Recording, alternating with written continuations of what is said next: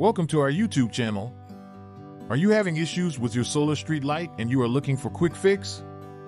A solar street light not working situation can be resolved in multiple ways. Let's discuss the common five fixes. 1. Check the solar panel connection. Carefully examine the wiring between the solar panel and the street light system. Ensure that all the cables are securely connected without any visible fraying or damage. Make sure that the connectors are properly seated and tightened to maintain a solid electrical connection. If you find any loose connections or damaged wiring during your inspection, it is important to rectify them promptly. 2. Verify battery condition. Carefully remove the battery from its compartment, following the manufacturer's instructions if available. Inspect the battery for any visible signs of damage, leakage, or corrosion.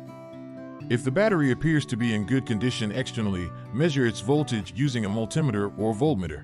4. Examine the light sensor. Inspect the sensor for any visible signs of damage, such as cracks, loose connections, or corrosion. These physical defects can impair the sensor's ability to accurately detect light levels, resulting in a solar street light not working situation. Next, ensure that the sensor is clean and free from any dirt, dust, or debris that might be obstructing its operation. Use a soft cloth or a gentle brush to carefully clean the sensor surface. 5. Inspect the controller. Ensure that the charge controller is securely connected to the solar panel, battery, and light fixture. Inspect the wiring connections for any signs of wear or improper connections. Loose or disconnected wires can disrupt the flow of electricity and cause a solar street light not working situation. Thank you for watching. Don't forget to like, share, and subscribe for more content on building a greener future.